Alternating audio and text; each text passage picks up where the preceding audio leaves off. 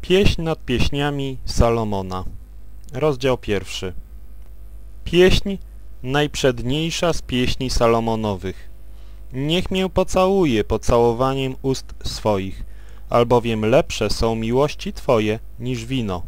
Dla wonności wyborne są maści Twoje, imię Twoje jest jako olejek rozlany, przetoż Cię panienki umiłowały. Pociągnijże mię, a pobieżymy za Tobą. Wprowadził mię król do pokojów swoich, przetoż się w Tobie radować i weselić będziemy, wspominać będziemy miłość Twoje raczej niż wino, bo uprzejmi miłują Cię. Czarnam Ci, alem wdzięczna. O córki jeruzalemskie, jestem jako namioty kedarskie, jako opony salomonowe. Nie patrzajcie na mię, żem jest śniada, bo mię opaliło słońce.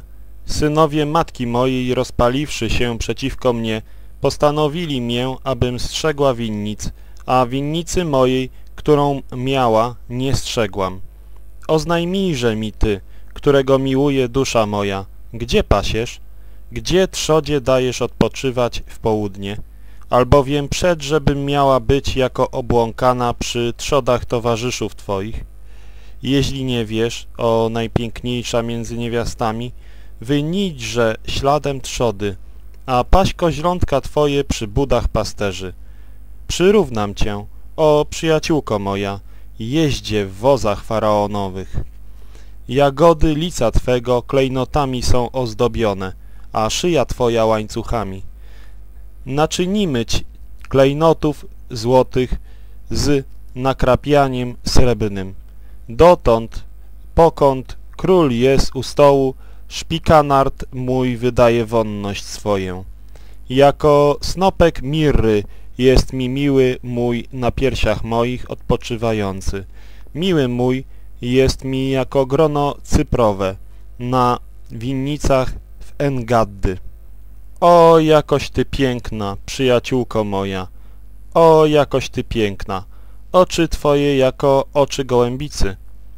O, jakoś ty jest piękny, mój miły, i jako wdzięczny, nawet i to łoże nasze zieleni się. Balki domów naszych są cedrowe, a stropy nasze jodłowe.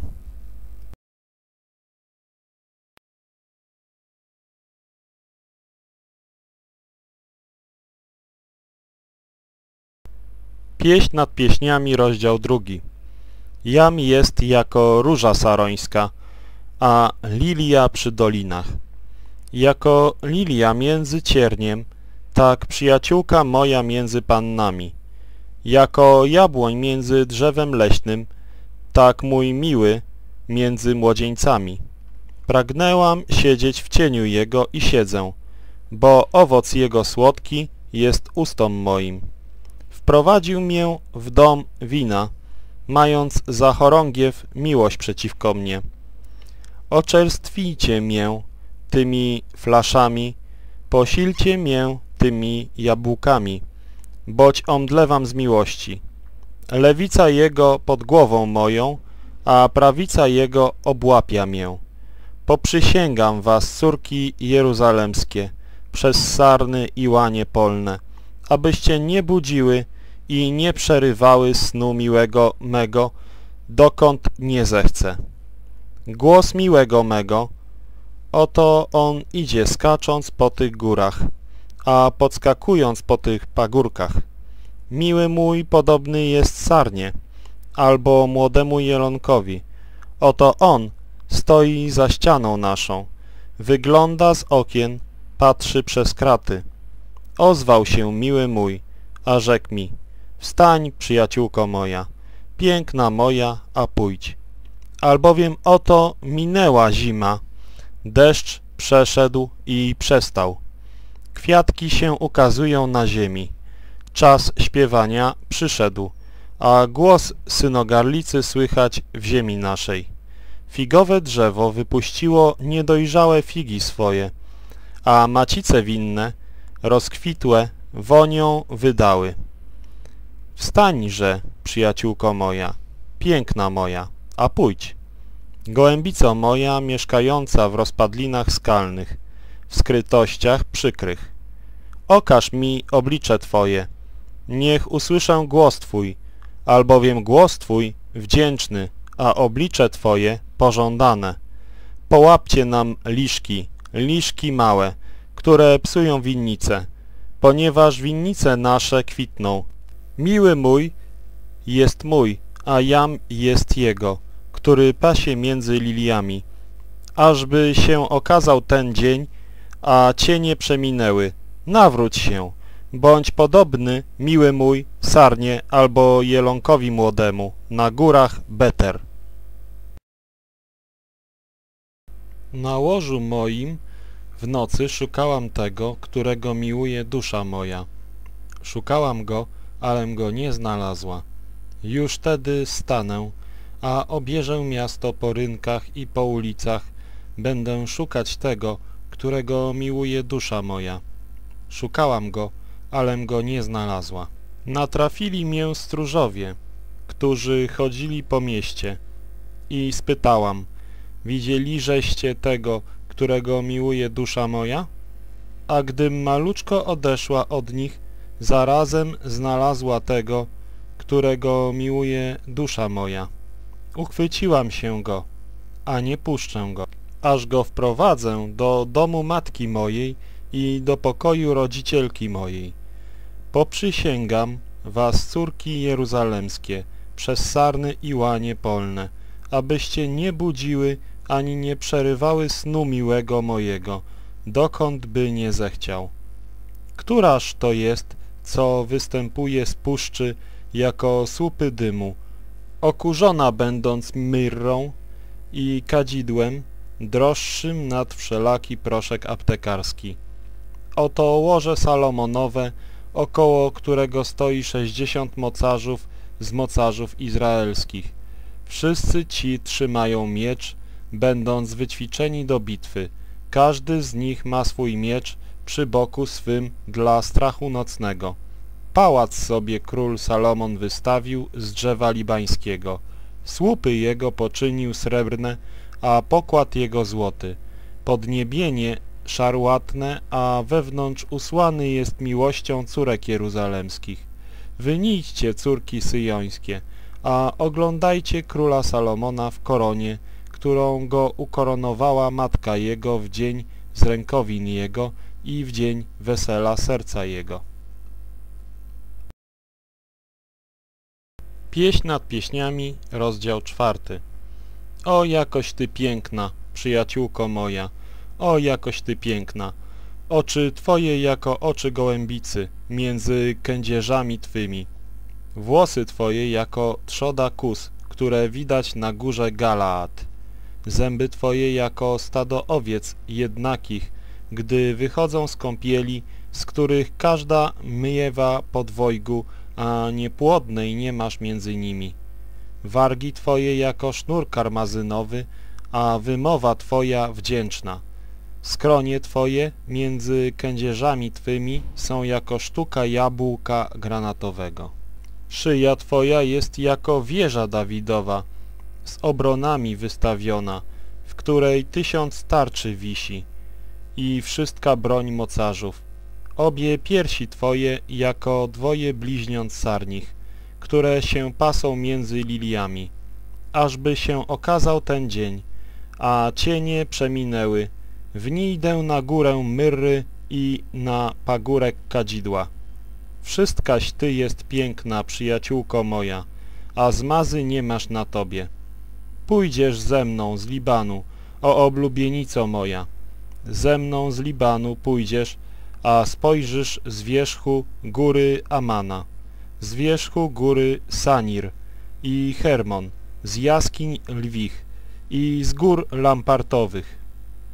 Ujęłaś serce moje, siostro moja, oblubienico moja, ujęłaś serce moje jednym okiem Twoim i jednym łańcuszkiem na szyi Twojej. O, jakoż są ucieszne miłości Twoje, siostro moja, oblubienico moja. O, jako daleko zacniejsze miłości Twoje, niż wino, a wonność maści Twoich nad wszystkie rzeczy wonne.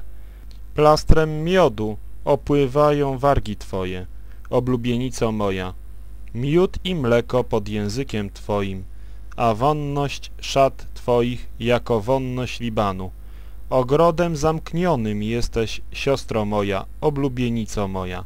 Źródło zamknione, zdrój zapieczętowany. Szczepki Twoje są sadem jabłek granatowych, z owocem wdzięcznym cyprysu i szpikanardu, szpikanardu i szafranu, kasji i cynamonu, ze wszystkimi drzewami kadzidło przynoszącymi, mirry i aloesu, ze wszystkimi osobliwymi rzeczami wonnymi. O źródło ogrodne, zdroju wód żywych, które płyną z Libanu. Powstań wietrze północny, a przyjdź wietrze południa, przewiej ogród mój, niech płyną wonności jego, niech przyjdzie miły mój do ogrodu swego, a niech je rozkoszne owoce swoje. Pieśń nad pieśniami, rozdział piąty. Przyszedłem do ogrodu mego, siostro moja, oblubienico moja. Zbieram mirrę moją z rzeczami wonnymi moimi. Jem plastr mój z miodem moim, piję wino moje z mlekiem moim. Jedzcież, przyjaciele, pijcie, a pijcie dostatkiem, mili moi. Jać śpię, ale serce moje czuje i słyszy głos miłego mego, kołaczącego i mówiącego Otwórz mi, siostro moja, przyjaciółko moja, gołębico moja, uprzejma moja, albowiem głowa moja pełna jest rosy, a kędzierze moje kropli nocnych. I odpowiedziałam, zewlekłam suknię moją, jakoż ją oblec mam, umyłam nogi moje, jakoż je zmazać mam. Miły mój ściągnął rękę swoją dziurą, a wnętrzności moje wzruszyły się we mnie. I wstałam, abym otworzyła miłemu memu. A oto z rąk mych kapała mirra, a z palców moich mirra ciekąca na rękojeść zawory. Otworzyłam miłemu memu, ale miły mój już był odszedł i minął. Omdlałam była na głos jego. Szukałam go, alem go nie znalazła. Wołałam go, ale mi się nie ozwał. Natrafili mię stróże, co chodzą po mieście, ubili mię, zranili mię, wzięli i płaszcz mój ze mnie stróże murów. Poprzysięgam was, córki jeruzalemskie, jeśli byście znalazły miłego mego, abyście mu powiedziały, żem od miłości zachorowała. Cóż ma miły Twój nad innych miłych, o najpiękniejsza między niewiastami? Co ma miły Twój nad innych miłych, że nas tak poprzysięgasz? Miły mój, biały i rumiany, i zacniejszy nad innych dziesięć tysięcy. Głowa jego jako bryła szczerego złota, włosy jego kędzierzawe, czarne jako kruk, oczy jego jako gołębicy nad strumieniami wód, jako umyte w mleku, stojące w mierze swojej. Policzki jego jako zagonki ziół wonnych, jako kwiatki wonnych rzeczy, wargi jego jako lilie wypuszczające mirrę ciekącą.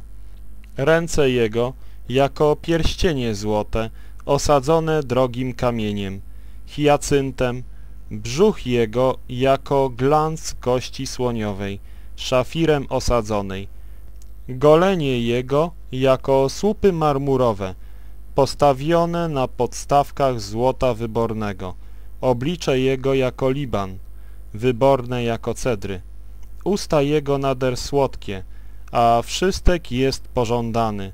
Taki ci jest miły mój i taki przyjaciel mój, o córki jeruzalemskie, Gdzież poszedł miły Twój, o najpiękniejsza między niewiastami? Gdzie się obrócił miły Twój, a szukać go będziemy z Tobą. Pieśń nad pieśniami, rozdział szósty. Miły mój wstąpił do ogrodu swego, między zagonki ziół wonnych, aby pasł w ogrodach i żeby zbierał lilie. jam jest miłego mego, a miły mój jest mój, który pasie między liliami. Pięknaś ty, przyjaciółko moja, jako Tersa, pięknaś jako Jeruzalem, ogromna jako wojsko uszykowane. Odwróć oczy Twoje ode mnie, gdyż mię one srogim czynią. Włosy Twoje są jako stada kus, które wychodzą z Galaad. Zęby Twoje są jako stado owiec, które wychodzą z kąpieli, z których każda miewa podwojgu, a niepłodnej nie masz między nimi. Skronie Twoje między kędzierzami Twymi są jako sztuka jabłka granatowego, aczkolwiek jest sześćdziesiąt żon królewskich, a osiemdziesiąt założnic, a panien bez liczby. Wszakże jednaż jest gołębica moja, uprzejma moja, jedynaczka u matki swojej, bez zmazy u rodzicielki swojej. Ujrzawszy ją córki, błogosławioną ją nazwały. Także i żony królewskie, i założnice, i chwaliły ją mówiąc, Któraż to jest, co się pokazuje jako zorza, piękna jako miesiąc, czysta jako słońce, ogromna jako wojsko uszykowane z chorągwiami. Stąpiłam do ogrodu orzechowego, abym oglądała owoce rosnące w dolinach, abym obaczyła, jeśli kwitną winne macice, a wypuszczają li pączki jabłonie granatowe. Niżem się dowiedziała, dusza moja wsadziła mię na wóz przedniejszych z ludu mego. Nawróć się, nawróć się, o szulamitko, nawróć się, nawróć się, niech na cię patrzymy. Cóż widzicie na szulamitce? Widzimy, jakoby hufy wojenne. Pieśń nad pieśniami, rozdział siódmy. O, jako piękne są nogi Twoje w trzewikach, o córko książęca! Opasania biudr Twoich są jako zawieszenia ręką dobrego rzemieślnika urobione. Pępek Twój jako czasza okrągła, która nie jest bez napoju. Brzuch Twój jest jako bruk pszenicy osadzony liliami. Obie piersi Twoje są jako dwoje bliźniąt młodych sarniąt. Szyja Twoja jako wieża z kości słoniowych. Oczy Twoje jako sadzawki w Hesebon. Podle bramy Batrabin. Nos Twój jako wieża na Libanie, która patrzy ku Damaszkowi. Głowa Twoja na Tobie jako karmel, a włosy głowy Twojej jako szarłat. Król widząc Cię byłby jako przywiązany na gankach swoich. O jakożeś piękna i jako wdzięczna, o miłości przerozkoszna. Ten Twój wzrost podobny jest palmie, a piersi Twoje gronom. Rzekłem, wstąpię na palmę, dosięgnę wierzchów jej. Niechajże mi tedy będą piersi Twoje jako grona winne, a wonność nozdrzy Twoich jako jabłek wonnych, a usta Twoje jako wino wyborne, które naprost bardzo mile płynie i sprawuje, że mówią wargi śpiących. Jam jest miłego mego, a do mnie jest żądza jego. Przyjdź, miły mój, wyjdziemy na pole, a przenocujemy we wsiach. Rano wstaniemy do winnic, oglądamy. Jeśli kwitnie winna macica, jeśli się zawiązują gronka, kwitną li jabłka granatowe, tam ci oświadczę miłości moje. Polne jabłuszka wydały wonność swoją, a przede drzwiami naszymi są wszystkie owoce wdzięczne, nowe i stare, którem Tobie, miły mój, zachowała. Pieśń nad pieśniami, rozdział ósmy. Oby żeś był jako bratem moim, pożywając piersi matki mojej, abym Cię znalazłszy na dworzu, pocałowała Cię, a nie była wzgardzona. Prowadziłabym Cię i wprowadziła do domu matki mojej. gdziebyś mię uczył, a ja bym ci dała pić wino przyprawne i moszcz z jabłek moich granatowych. Lewica jego pod głową moją, a prawicą swoją obłapia mię. Poprzysięgam was, córki jeruzalemskie, abyście nie budziły ani nie przerywały snu miłego mego, dokąd nie zechce. Któraż to jest, co występuje z puszczy, podparłszy się miłego swego? Pod jabłonią wzbudziłam cię, tam cię poczęła matka twoja, tam cię poczęła rodzicielka twoja. Przyłóż mię jako pieczęć na serce swoje, jako sygnet do ramienia swego, albowiem miłość mocna jest jako śmierć, twarda jako grób, zawistna miłość, węgle jej jako węgle ogniste i jako płomień gwałtowny. Wody wielkie nie mogłyby zagasić tej miłości, ani rzeki zatopić, choćby kto wszystkę majętność domu swego dał za takową miłość, byłby pewnie wzgardzony. Mamy siostrę maluczką, która jeszcze nie ma piersi. Cóż uczynimy z siostrą naszą w dzień, którego o niej mowa będzie? Jeśli, że jest murem, zbudujmyż na niej pałac srebrny, a jeśli jest drzwiami, oprawmyż ją deszczkami cedrowymi. Jam jest mur, a piersi moje jako wieże. W ten czas byłam przed oczyma jego jako ta, która znajduje pokój. Winnicę miał Salomon w Balhamon, którą winnicę najął stróżom, aby każdy przynosił za owoc jej tysiąc srebrników. Ale winnica moja, którą mam, jest przede mną. Miej sobie tysiąc srebrników, Salomonie, a dwieście ci, którzy strzegą owocu jej.